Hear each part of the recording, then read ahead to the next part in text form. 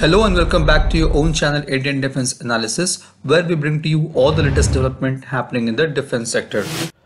The Aero engine is considered as one of the key areas of India's aspiration of achieving self-reliance in defense sector. It is one of the most complex technologies to develop as it requires various metallurgical challenges that need expertise as well as experience. The extremely high rotation of turbine blades and extreme temperature of the core tests the reliability of alloys. The GTRE Kaveri engine program was sanctioned way back in 1989 with objective to power LCA Tejas fighter jet. The aim was to develop low bypass twin spool turbofan engine of 80 kN thrust class with afterburner. However, there were two challenges. Due to lack of experience in development of low bypass engine, Kaveri was not ready on time. Further, the power requirement of LCA was also increased due to its increased weight. GTRE Kaveri was officially delinked from this program in September 2008. The program was abandoned in 2014. Now, as per the CAG report of 2011, GTRE has been able to deliver an engine that could power LCA despite a cost overrun of 642% and a delay of about 13 years. Now, GTRE has defended the delays with non-availability of state-of-art wind tunnel in India and the US technology restrictions.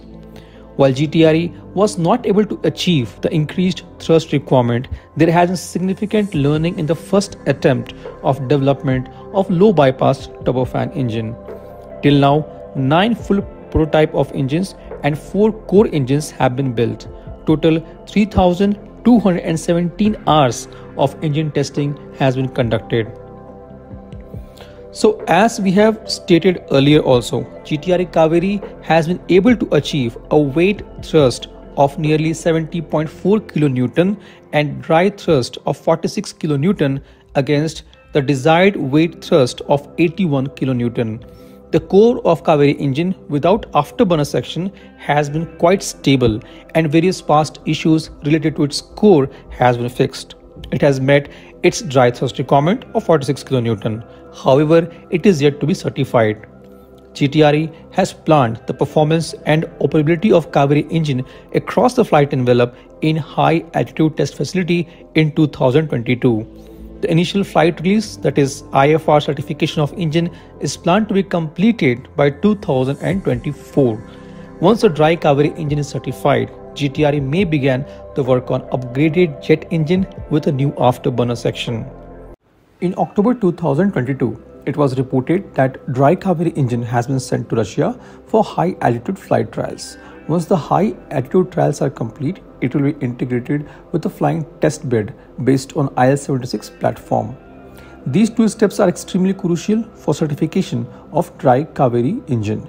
Once the certification is done, it will be used to power the Ghatak UCAV. In February 2022, it was reported that Dry Kaveri engine has successfully completed its high altitude trials at Russian facility where it was tested for various speed, thrust and pressure.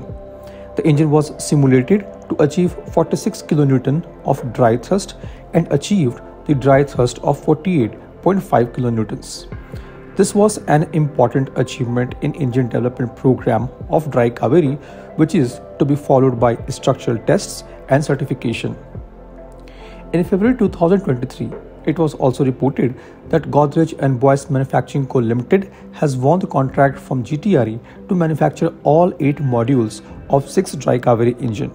It will be the first private firm to produce jet engine modules for Dry Kaveri of GTRE.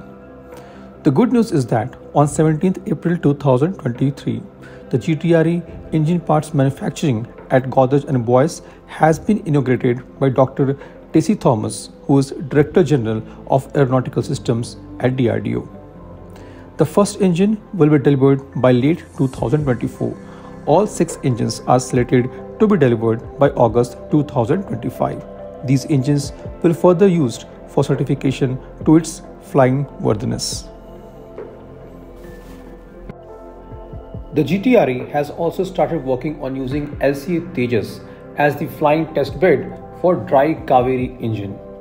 In the year 2023, GTRE has issued a tender for the upgrade of a unit of LCA Tejas engine starter unit which can be used as the flying testbed. Again, in November 2023, GTRE issued another tender for modification of LCA specific aircraft mounted accessory gearbox to test Kaveri dry engine. Going via these developments, it seems GTRE has planned the testing of dry Kaveri engine from LCA. Coming back to the Kaveri engine with afterburner section development, GTRE has started the work. In January 2024, GTRE has commenced working on the afterburner section of Kaveri engine which will be able to generate thrust of 80 kN. If we look at the existing GE F404 engine which power LCA Tejas, it generates dry thrust of 48.9 kN and 78.7 kN with afterburner.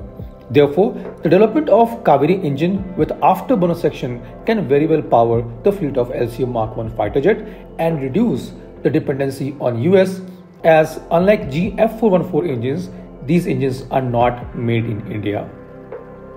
So in order to commence the development of 80 kN class thrust engine, GTRE has released an expression of interest inviting the Indian private sector firms for ready to fit equi-axed nickel alloy low pressure turbine rotor blades and vane LPT subassemblies.